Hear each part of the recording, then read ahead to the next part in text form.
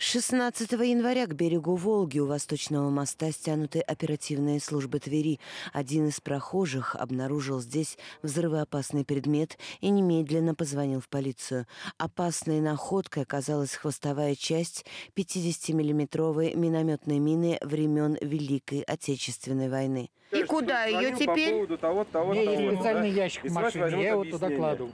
А потом на уничтожение. А потом повезем на Паспорт, на уничтожение. да, уничтожение. Мы еще раз призываем жителей региона быть предельно бдительными и оперативно сообщать о тревожных находках в соответствующие службы. Днем 16 января дома номер 5 по улице Советская загорелся фургон «Бытовка» водоканала. Источник возгорания расположен в кузове грузовика, где установлена печка-буржуйка. Через считанные минуты огнеборцы 4-й пожарно-спасательной части прибыли на место и предотвратили распространение огня на расположенные рядом с автомобилем баллоны с газом. Вскоре пожар был потушен. Медицинская помощь потребовалась одному из рабочих ремонтной бригады.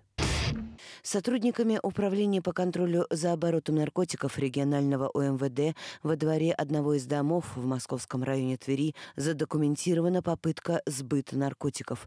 У задержанной 29-летней женщины обнаружено 200 свертков с N-метилэфедроном общей массой 200 граммов. Еще полкилограмма этого зелья обнаружено у задержанной дома в ходе обыска. Фигурантка задержана и водворена в изолятор временного содержания. Возбуждено уголовное дело.